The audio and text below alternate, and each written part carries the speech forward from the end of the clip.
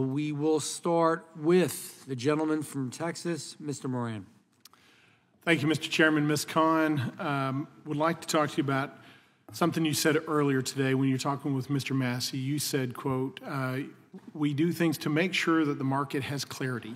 Uh, To make sure that the market has clarity was the quote I wrote down from you. And, and I was glad you brought that up because the Second Circuit, as you know, back in 1984, said of the FTC, quote, "The commission owes a duty to define the conditions under which conduct would be unfair so that businesses will have an inkling as to what they are lawfully, what they can lawfully do rather than be left in a state of complete unpredictability." But by moving away from the consumer welfare standard, uh, I would posit that the FTC has effectively created uh, a moving goalpost standard.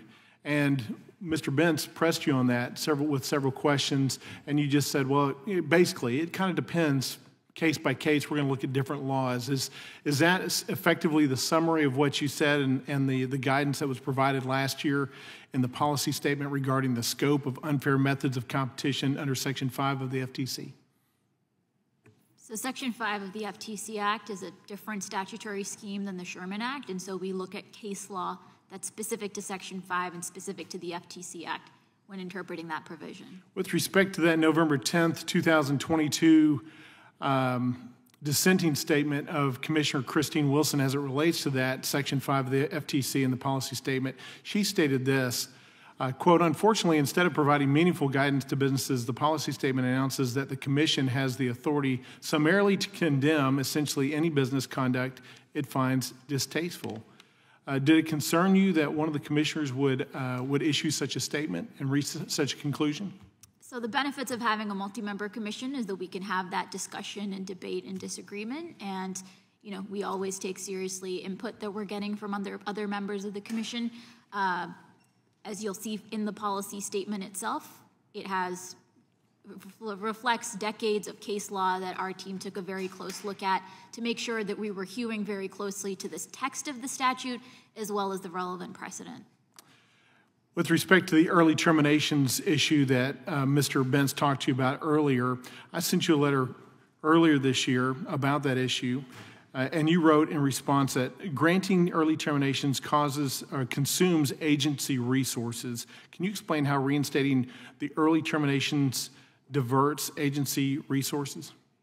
Sure. So, we, our staff is reviewing merger filings, they're in the process of litigating, they're investigating.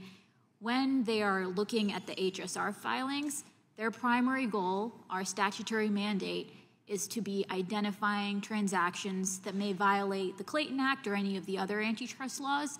Granting early termination is a discretionary function, and so we decide to put resources towards the mandatory functions in the statute over the discretionary but, ones. But for years, that early termination policy allowed the FTC to allow uh, mergers and acquisitions of a small size or a size where there was really no uh, competition issue uh, really presented for you to go ahead and give surety to those businesses that they could proceed with those mergers and acquisitions. But that's no longer the case in the FTC, right? You're, you're holding businesses in limbo because you're giving them these letters and saying, well, we're, we're going to look at it. We're, we're not sure. But then businesses have trouble moving forward those mergers and acquisitions because sometimes the financing is tied up in the time frame that they need a quick M&A. Is that is that true or is that untrue? So Congressman, the context here is we're talking about 30 days. 30 days that firms have to wait before they're able to consummate if they don't hear from the agencies. In the past, maybe firms would have gotten early termination on day 25.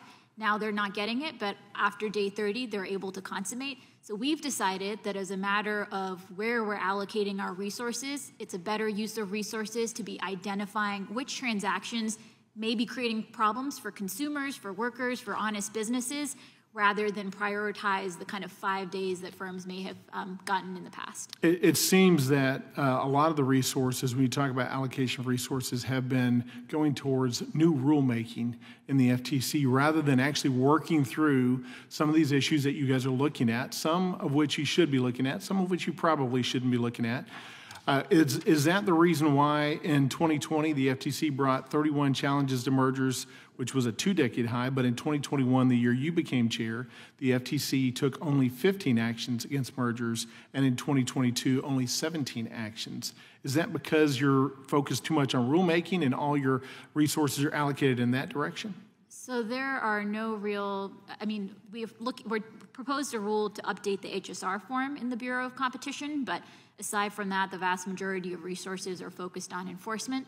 Um, I think some of those numbers you mentioned are outdated. Uh, our team would be happy to provide you with updated numbers. Our enforcement is squarely in line with prior years. Thank you. I yield back. The gentleman yields